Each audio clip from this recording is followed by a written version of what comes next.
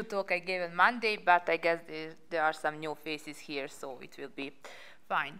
Uh, the idea is to present some different topics of my research in this talk, but before I start presenting my research, I will introduce myself a bit, little bit more. So I'm a PhD student uh, at, uh, of Applied Mathematics at Faculty of Technical Sciences, University of Novi Sad. My advisors are Silvia Ghilezan and Zoran Ognjanovic. And as you're going to see, um, I'm interested in lambda calculus, combinatorial logic, type theory, probability logic, and more recently, I got interested in uh, data privacy, and in particular, in data privacy in blockchain.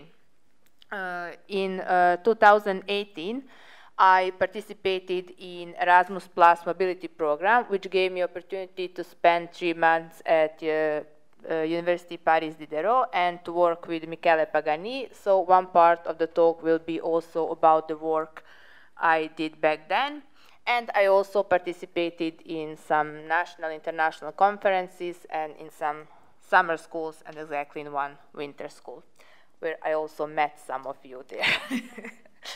okay, uh, so this is the, um, the outline most of the talk will be actually about the things that were in the title, that is about probabilistic lambda calculus and probabilistic reasoning about type terms, but then I will also spend some time to say something about work in the field of resource control and about data privacy in blockchain, but very, very briefly. So the first part is actually the result of my visit to Paris, where I worked with, with uh, Michele Pagani, and we worked on probabilistic lambda calculus, that is uh, lambda calculus which is extended with this probability operator. And uh, one challenging uh, problem there is proving program equivalence, that is proving that two programs will behave the same whenever we put them in any context. When we started our uh, collaboration, we had these few papers in front of us. The one paper considered call by name evaluation strategy and the other one considered call by value evaluation strategy. And the authors um, were looking for uh, different uh, techniques to prove program equivalence. So they tried to connect uh, context equivalence with uh, bisimilarity bisimilarity is able, we are able to introduce bisimilarity in probabilistic lambda calculus because we can see that lambda calculus as labeled, labeled Markov chain. So in the first paper, where a call by name evaluation strategy was adopted, the authors proved that uh, bisimilarity implies context equivalence, but that uh, the opposite does not hold. There are uh, terms that are context equivalent, but they are not bisimilar. In the other paper, where call by value uh, uh, uh, evaluation strategy was considered, they proved that these two uh, equivalences actually coincide. Our question was, um, what is the gap? What uh, can be added to call by name evaluation uh, lambda calculus in order to um, to achieve full abstraction, that is to have this equivalence to have that context equivalence and bisimilarity coincide. And the answer was that uh, we can add let-in operator, which are in some sense, which simulate call by value strategy in call by name setting. So we consider this calculus where we have, so as, in, as usual, variables, uh, abstraction application, we have this probability operator that was also in the previous calculus, but now we have this let-in operator. The operational semantics considered uh, as usual, so in, we are in probabilistic lambda calculus, so a term does not evaluate to one value, but to distribution of possible outcomes. So uh, when we speak about context equivalence, we say that two terms are context equivalent if uh, the probability of convergence is the same for any context. It, uh, so as I said, the idea is to find some uh, characterization of context equivalence which would be easier to prove than uh, proving that the term, than checking all contexts and proving that uh, two terms have the same uh, probability on, of convergence. So uh, I already mentioned that probabilistic lambda calculus can be seen as labeled Markov chain. And uh, for that reason, we are able to introduce uh, the notion of bisimilarity in probabilistic lambda calculus. That is what we did. We followed the approach that was uh, used also in those two papers I presented a few slides ago. And it was uh, really straightforward to prove that bisimilarity implies context equivalence. So whenever we have the two terms are bisimilar, we also know that they are context equivalent. But what we wanted to achieve is to have the other direction as well. So we wanted to prove that whenever two, uh, two terms are context equivalent, they are also bisimilar. In order to do that, we can follow the approach used in uh, the paper by call by value, where they also uh, use a paper that adopt call by value evaluation strategy, because they also have decided that other direction. And uh, we introduced a testing language. And um, so uh, there, is there, is, uh, there are tests that we can apply on a term, and whenever we apply tests on a term, then we have a probability, probability of success of that test. What is important is that uh, the equivalence indu induced by this testing language uh, it actually coincides with bisimilarity. When we say uh, testing equivalence, I mean that two terms will be equivalent in this sense if the probability of success is uh, the same uh, for all tests for both terms. And so uh, at this point, what we have, we have that bisimilarity implies context equivalence. We have the testing equivalence uh, coincide with bisimilarity. What is missing? Well, we miss this arrow here. So now the idea is to prove that context equivalence implies testing equivalence. And uh, how is this done? Well, first we proved that for every test there is an equivalent context. So whenever I have a test, I can find a context such that success probability of a test uh, applied to that term is the same as probability of convergence when a term is put in a context. And once, I, uh, once we proved that property, as a consequence, we obtained that context equivalence implies testing equivalence. So you see the circle is closed. Now we have that uh, these three uh, notions of equivalence, context equivalence, bisimilarity, and testing equivalence coincide. And uh, as I said, uh, these are the results of um, that work I did in Paris, and uh, we had a paper, conference paper about this at uh, FSCD in 2019. So that is the first part, that is one of the topics um, I, uh, I worked on. And now uh, the second part is actually uh, the research I also presented on uh, Monday. But uh, here, as I said, the, my idea was to present different topics, so I, I don't go into any technical details, and I just want to give general idea of what I'm doing. I said, uh, so the topic is the same, but maybe the talk will uh, look a little bit different. I will start from a different point of work. I will start actually from the, be the beginning and I uh, will say how we came to the idea to work on this. So uh, we were familiar with probability logics and later there will be a reference to a book where there is an overview of different probability logic, but we were looking at the logic called LPP2, which is the simplest one of uh, those. And what is uh, LPP2 logic? It is a probability logic where we can express the statement that probability that alpha is true is greater than or equal to S. How this logic is defined? First, the authors uh, start with classical propositional logic. So we have uh, classical proposition, uh, propositional letters and classical propositional connectives. Then on, uh, they, uh, they apply these probability operators on classical propositional formulas. They obtain a set of probabilistic formulas and they close that set under classical propositional connectives. So um, below this, uh, I would say, house, you can see how the grammar is uh, defined. So basically formulas are divided into two layers. We have this basic layer, which is classical propositional logic, and uh, then we have this probability layer. What was our idea? Well, well, our idea was to construct a bigger house. So uh, basically, we wondered uh, what will happen if this alpha is not just classical propositional formula, what if it's something more complicated? And uh, what if instead of alpha, I have a statement M has type sigma, or even something more complicated than that? So uh, we started constructing our system. How we started it? Well, first we, uh, we were looking at simply type combinatory logic. So this is our base level now.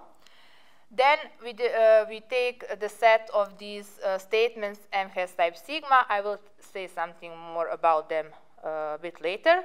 We close that set under uh, classical propositional connectives. And we have now this um, this part here. So basically what classical propositional logic is in LPP2, here uh, it is a set of these statements closed under classical propositional connectives. And then the idea is to um, you know, define probability operator on those formulas and then again close that under negation and conjunction.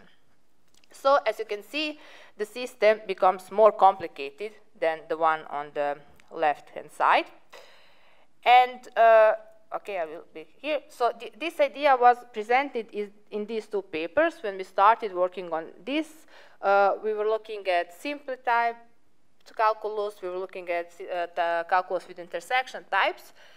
But we were trying to do this with some existing models of combinatory logic and lambda calculus, and we were looking uh, the whole system, and then we realized that it's too complicated to look the whole system, and that we need to take one part of that. In particular, I need to take this part without this probability, the part where I only have these statements uh, closed under uh, classical propositional connectives, and first to uh, achieve soundness and completeness of that system and then to build a bigger one. So here I'm first going to present logic of combinatory logic, which is basically that part here. Uh, that is the results we already have, and then I will um, I will say what is an ongoing work. So for now, uh, my house is without the roof, but I hope it will soon be. yeah.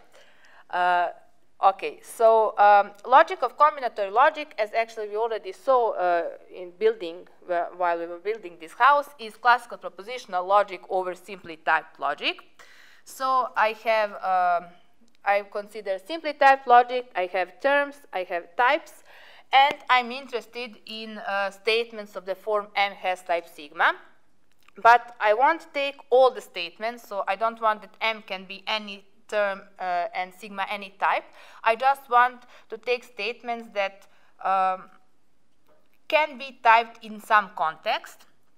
So, uh, and then I take the set of those statements and then I close it under classical propositional connectives. Here it is negation and implication. In the previous slide it was a negation and conjunction, but since I'm in classical logic, it's enough to take negation and implication. I can define um, all other connectives using that, or as well, I can take just negation and conjunction and define implication using that. So it's, it's fine to just choose these two. I'm not going into details. I will just briefly uh, say uh, how we already saw what is the syntax, and I just want to say how we define uh, uh how we um, define axiomatization and semantics. So uh, since the system is obtained by defining classical propositional logic over simply typed combinatorial logic, the axiomatization is also obtained from the axiomatic system for classical propositional logic and uh, type assignment system for simply typed combinatorial logic. In my talk on Monday, there was uh, maybe more details. There was actually a system presented, so the slides will be online, I guess, on Type's website, and uh, you can look at that. And as for the semantics, uh, we define semantics as applicative structure provided with evaluation. And what we, um, what we obtained, well, we obtained uh, that uh, we proved that this axiomatization is sound and complete with respect to uh, semantics defined in that way.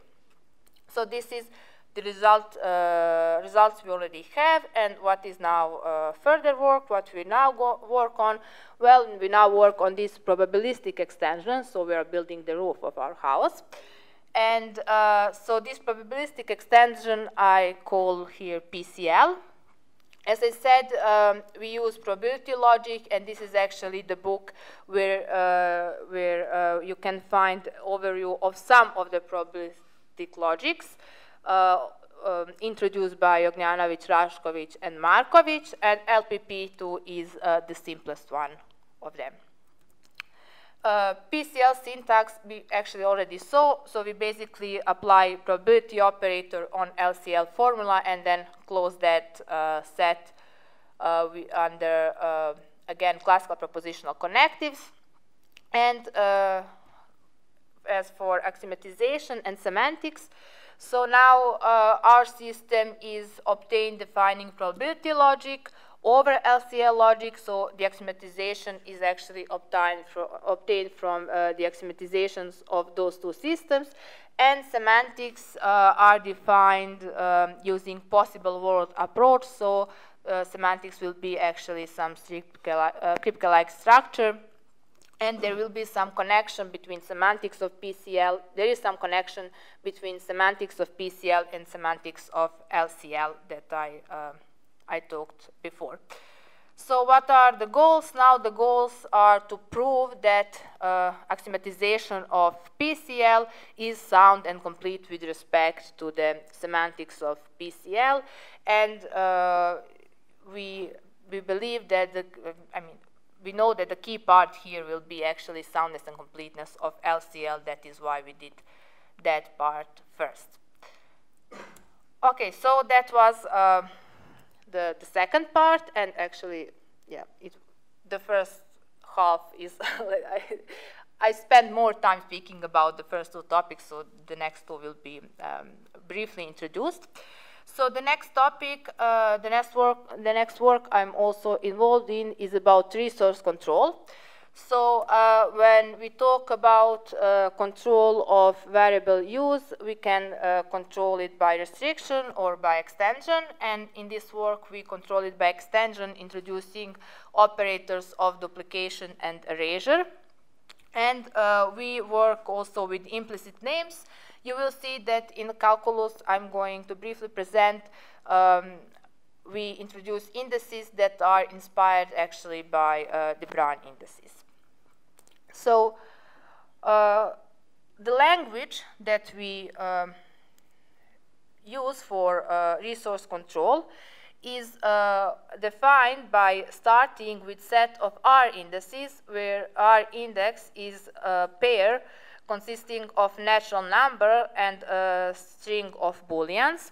So this natural number is actually just as a natural number in de Bruijn index.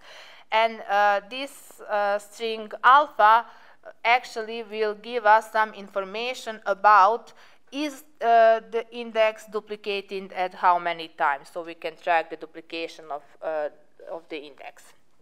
Then, uh, besides this index, we have uh, abstraction application as usual, and now we have these two new operators, operator uh, erasure and duplication. Erasure will introduce a variable when it is not there, and for example, we want to abstract it, and uh, duplication uh, will deal with variables that have uh, multiple occurrences in a term.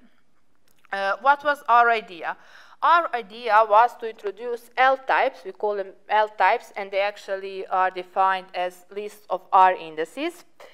And uh, the typing system is defined in the way that uh, if I can type some term T with type L, then in L actually will be um, free, uh, free variables or indices of T.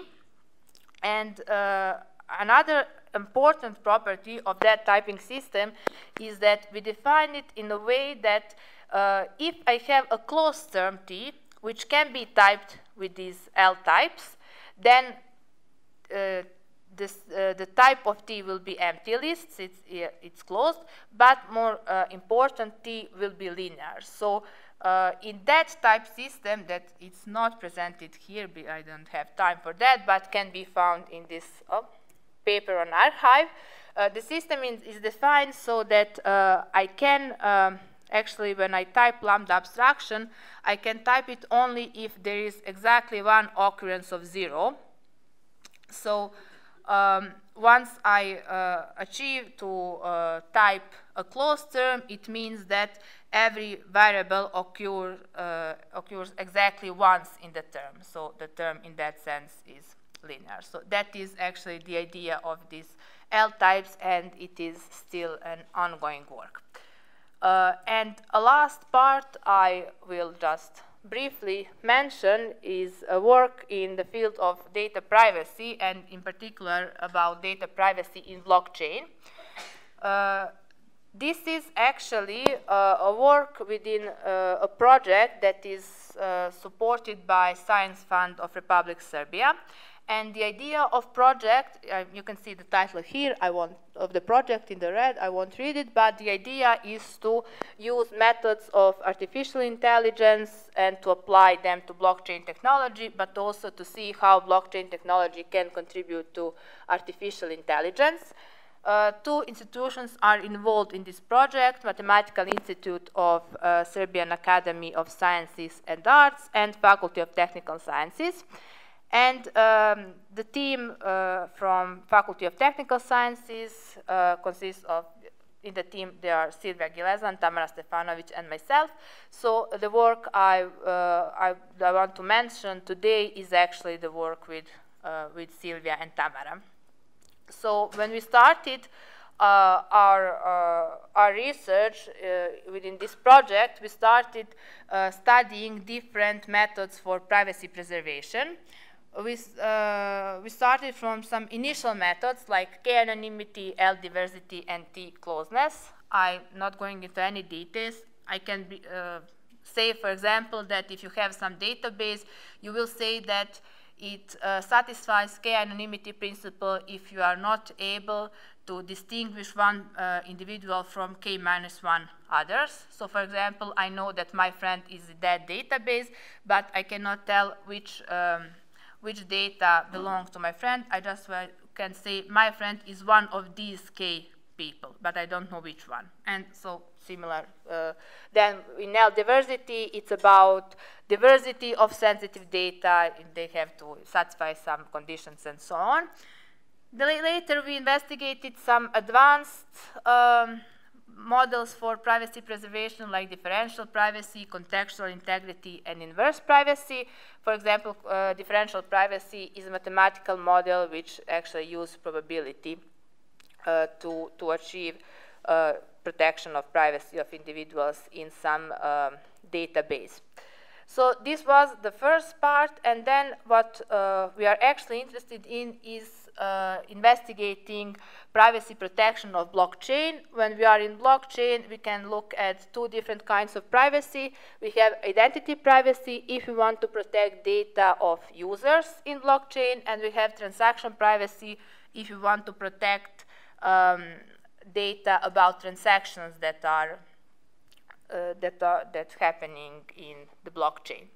And depending on which privacy we are uh, we want to achieve, we have different mechanisms. So at that point, uh, at, that, at this point, this actually uh, probably looks like a way out of topic. So uh, right now it has nothing to do with any types or anything, but it does not, it's not necessarily will stay like that because uh, so we are investigating privacy protection of blockchain, but what we are aware of is that there is some work uh, on using session types to uh, formalize some parts of protocols for blockchain, because in blockchain it's all about communication, and uh, apparently they recognize that session types can be useful to uh, formalize not all protocols, but some part of protocols are formalized um, in uh, using session types. So there are those attempts, and uh, our plan is maybe in the future to try to see if more of that can be done using this. So not only formalizing uh, protocols of blockchain, but maybe formalizing also some notions of privacy in blockchain using session types or something which is familiar. So at the moment, it is not in the topic, but maybe in some future time it will be. So that's why I decided to put, to put uh, that part also. And yeah, that is for me. Thank you.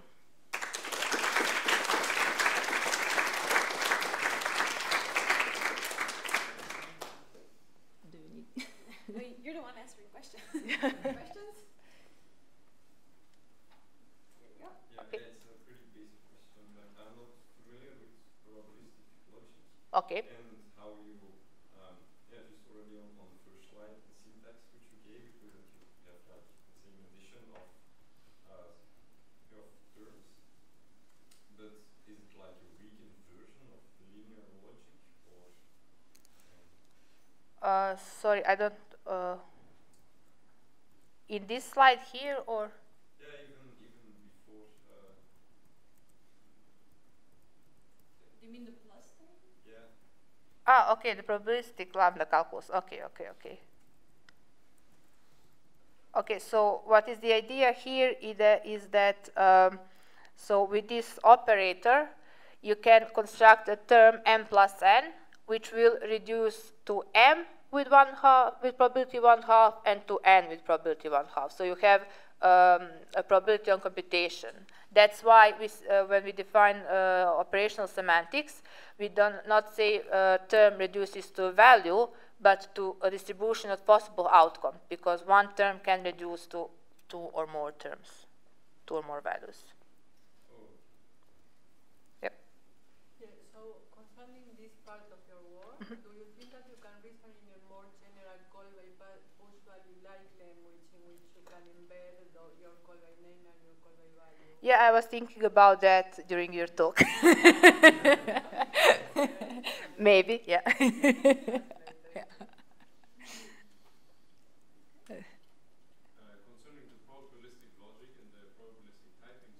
Mm -hmm.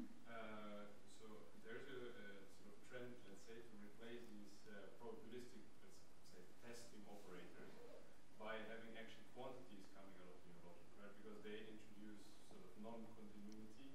Mm -hmm. they, they ask, oh, with uh, this with probability, something should hold, and then it becomes a truth value essentially afterwards. Mm -hmm. But this is, uh, it's a, people have found it more robust to work with, whatever formalism you like, fuzzy logic or whatnot, where in the end you get essentially the quantities out.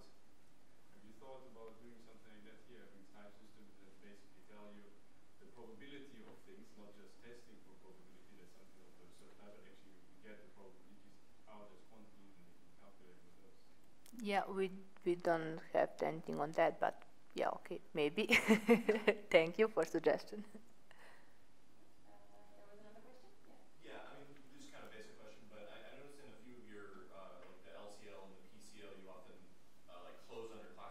mm -hmm. twice. Um, is there like a particular reason you do that instead of uh, like yeah setting up in, in, such a way where you just add these connectives once?